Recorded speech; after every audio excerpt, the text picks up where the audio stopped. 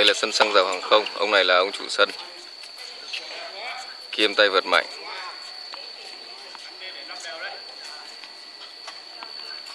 Đây là giờ đánh của nội bộ của các à, thành viên công ty xăng dầu hàng không.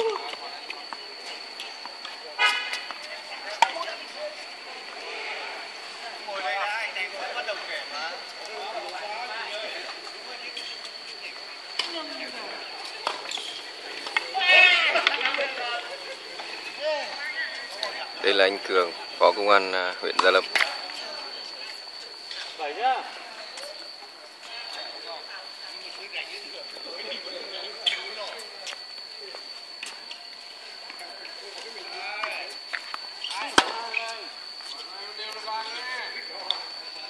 Khi là nhà báo Xuân Hương. Một tay vợt đang ở phong độ sung.